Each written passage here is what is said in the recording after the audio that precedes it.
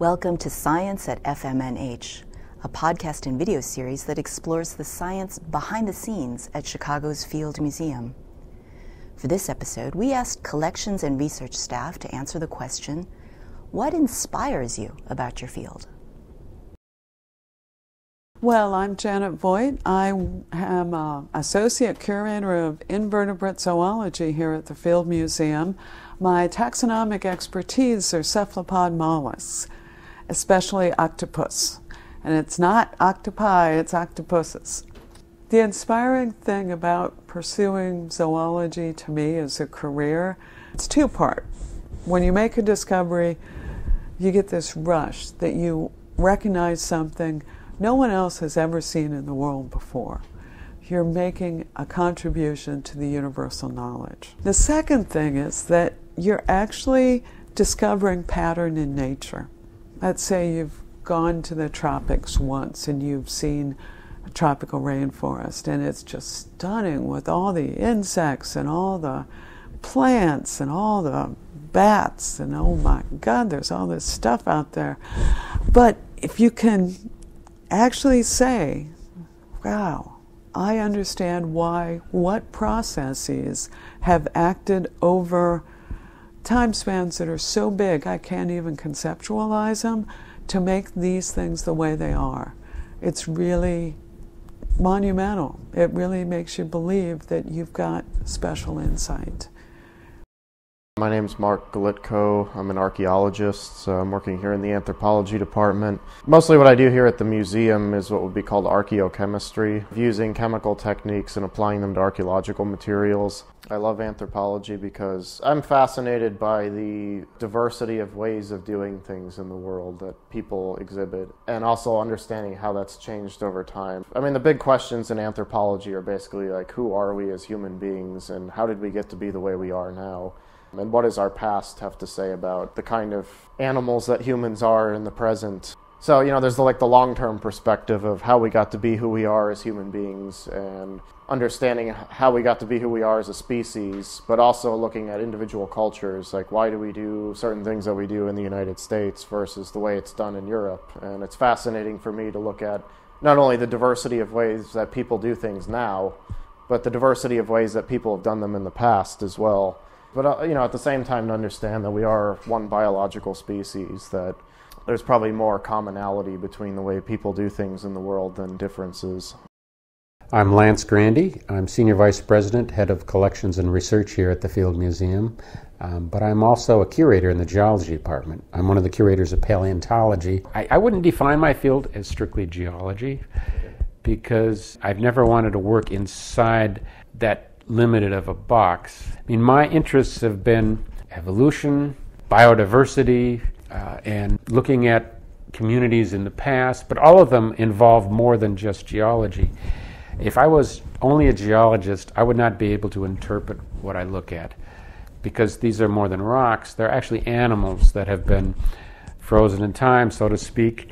It takes a lot to figure out what, how these animals fit into the greater scheme of, of other closely related organisms.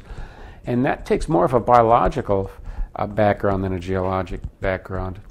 Part of what I love about the Field Museum is it fosters these interdisciplinary looks at natural history. So, me, with a PhD in biology, I was hired by a geology department at the Field Museum. That's the kind of approach here that I think makes us as, as great as we are.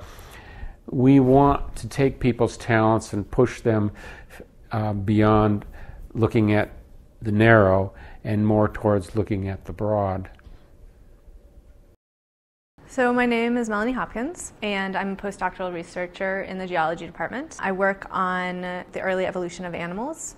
I think one of the things that I find the most fascinating about geology is the really, really long time scales over which things are happening. You know, if you go to the beach today, you can kind of see that sediment is piling up and getting moved around by waves. And then you go to a rock outcrop from 400 million years ago, and it is 200 meters thick, and just in that comparison alone, you can see how much time it must have taken for this huge pile of rock to build up.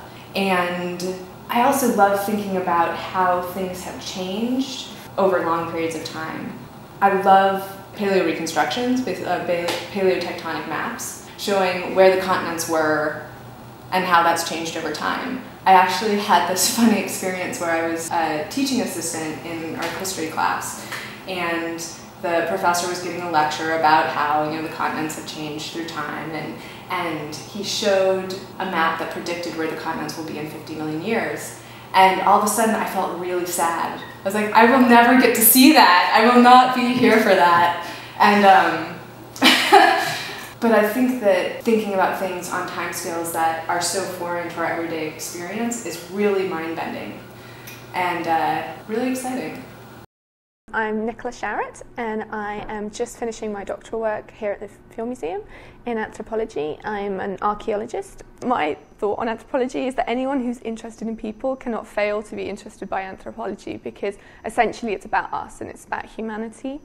The sense that much as we're different, we're all the same in, in another respect. What I really love about archaeology is it gives you that tangible connection to people in the past. There's something very exciting about finding or excavating or working with material that somebody else produced and loved and used thousands of years ago.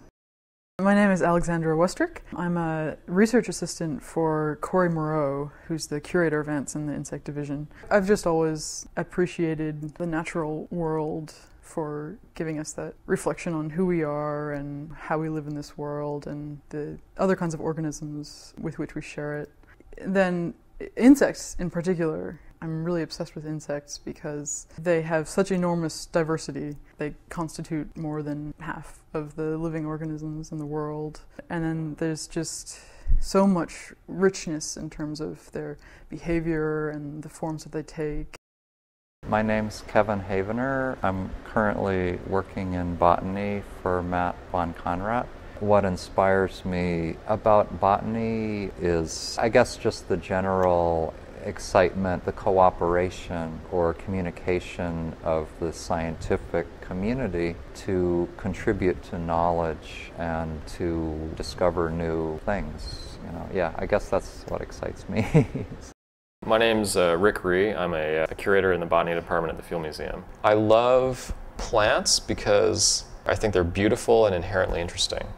And I love evolution. Like, I love the fundamental concepts and how they integrate with the diversity of life that exists on the planet.